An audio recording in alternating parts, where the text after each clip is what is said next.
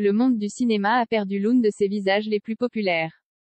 Ce jeudi 1er décembre, Mylène de Mongeau est morte à l'âge de 87 ans d'un cancer du péritoine comme l'a annoncé son ami Henri Jean Servet à Midi Libre. C'était une artiste, elle avait passé sa jeunesse à Montpellier, elle s'était mariée à l'église de Palavas-les-Flots, elle adorait la région. Elle était engagée dans la protection des animaux. C'était une amie depuis plus de 40 ans, a-t-il annoncé. Sa famille a confirmé la triste nouvelle dans un communiqué. C'est avec une profonde émotion et une grande tristesse que nous vous faisons part du décès de l'actrice Mylène de Mongeau survenu le 1er décembre à l'âge de 87 ans. Pour beaucoup de François, elle restera l'une des actrices les plus populaires du cinéma et de la télévision. Née le 29 septembre 1935 à Nice, Mylène de Mongeau s'appelait dans son enfance Marie-Hélène de Mongeau mais a préféré changer son nom lorsqu'elle a commencé sa carrière. Je détestais mon prêt. J'aille donc chercher à avoir un nouveau, confiait la comédienne dans les colonnes du paratonnerre.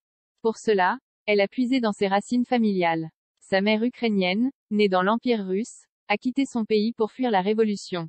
Pour choisir son prénom de scène donc, Mylène de Mongeau a cherché du côté de la Russie. Il y avait le prénom Milena en Russie. Jai trouvait que c'était original, se souvenait l'actrice. Je suis donc devenue, lorsque Jai commençait une carrière au cinéma, on a voulu me faire changer de nom de famille.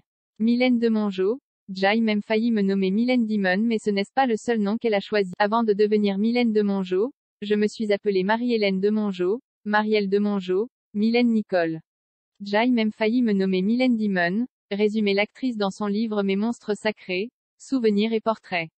Au cours de sa carrière, Mylène de Mongeau a partagé l'affiche avec les plus grands acteurs, Yves Montand dans Les Sorcières de Salem, Henri Vidal dans Sois belle et tais-toi, David Niven dans Bonjour Tristesse, Alain Delon dans Faible Femme, Dirk Bogart dans Le Cavalier Noir, ou encore Louis de Funès et Jean Marais dans la série des Fantomas. Plus récemment, on l'a vu dans 36 Quai des Orfèvres, dans Feu Rouge, dans El Senva, dans Maison de retraite avec Kev Adams, ou encore dans Camping.